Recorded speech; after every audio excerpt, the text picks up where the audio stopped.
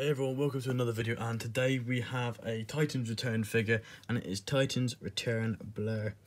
Absolutely awesome figure, one of my favourites from the Titans Return series. and you have to excuse the uh, the voice today.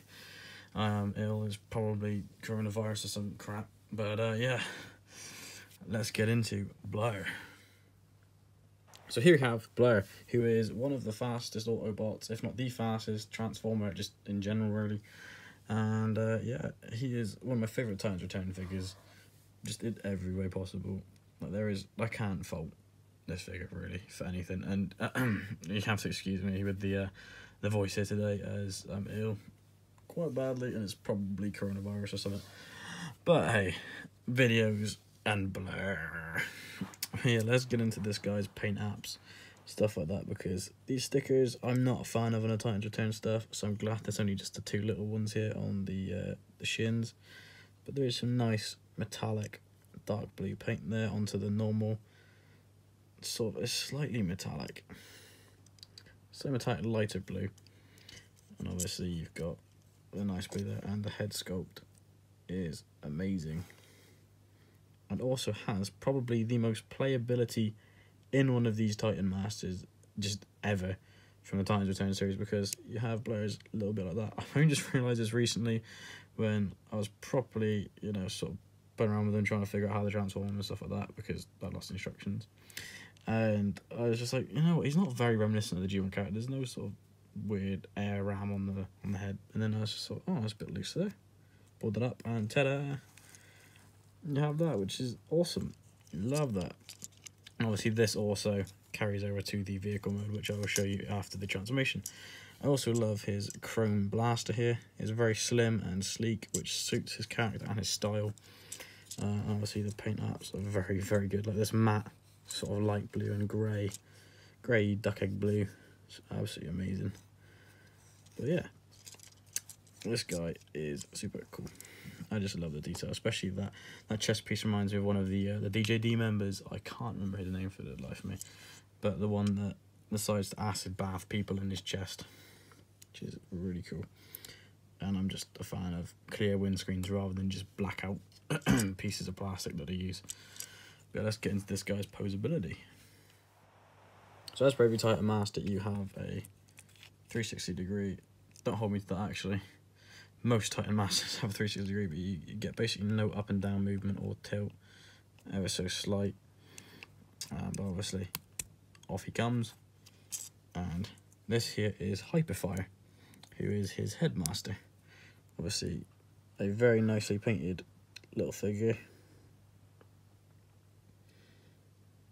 Especially like the uh, the chrome and the black. These guys in this mode usually aren't very well painted and they just have the basic, maybe a face or maybe an arms or something. This guy has quite a lot of paint detail. But one thing he does sacrifice is very, very little outer movement here with the arms. Obviously you do have the swivel but only to there because of the head. And you've got full flexibility up and down with the legs. Obviously no side to side action or anything like that. But that is it for Hyperfire, apart from his uh, little scoop. Sit over there. Obviously with Blurr you've got his accessory, which is a nice sleek looking Cybertronian blaster. And with Blurr himself, obviously you've got the backpack, which moves and can become a uh, pyramid head reminiscent Silent Hill looking character with a nice chest hole. But that obviously is where the wheel should sit because this is on a lovely double joint there. The wheel, I think, yeah, sits in there. At the arms, obviously, you have the up and down, and they are on a ball joint, I believe. On a ball joint? No, they're in a, uh, a twisty, rotatey bit. So you got your full 360 degree rotation there. Your up and downs, You've got your bicep rotation. You've got your elbow swivelage. And you've got that far because obviously you've got this section of the bicep and this bit here. Um, you've got your wrist rotation and you've got a nice little double joint here at the arm piece. So that goes there and that can go forward and that fits in nicely with the transformation. So we've also, moving down further the body, we have a nice waist rotation. Two ball joints here.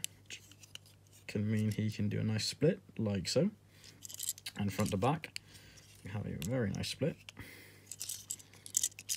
With the knees, single knee joint, as per usual. Gives him a nice, very sharp knee posability there. And uh, no pivot, but we, will, we have a toe bend which is pretty neat. And that does it for his posability. Now let's get into his transformation.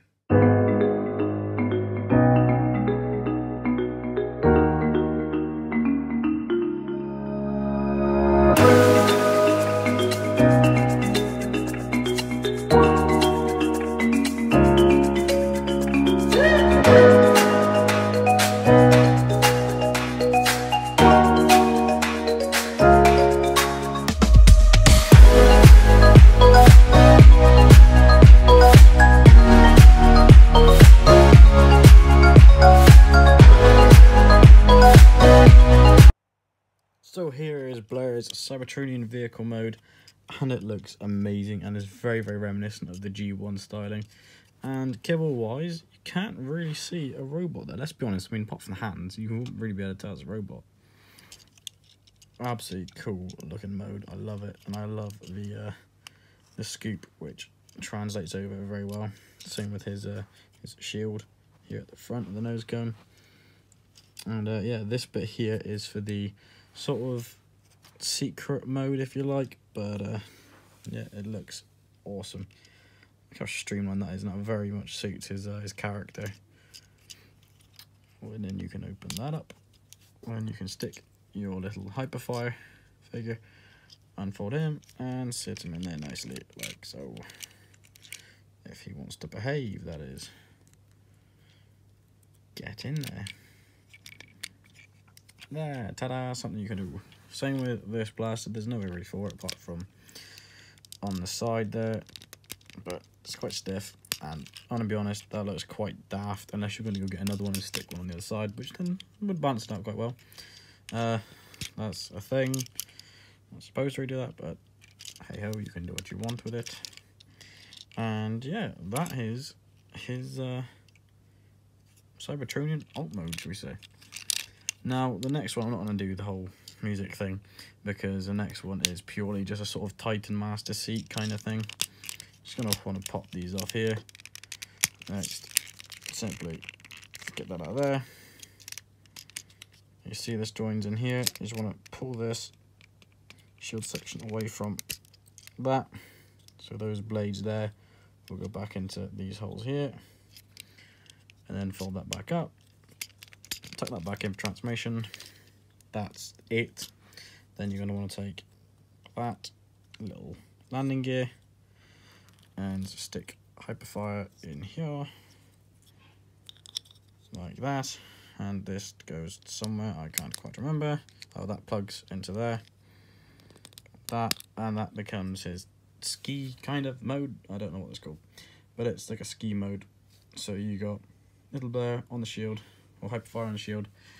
And uh, Looking kind of sorry for himself, really. But yeah, that is Titan's Return Blurr. One of my favourite Titan's Return figures, like I said. Uh, I will be doing my favourite very, very soon. So stay tuned for that.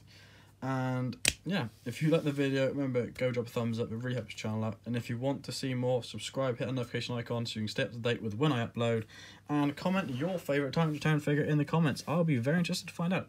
So thank you guys for watching. Stay awesome, and I'll catch you next episode. See ya.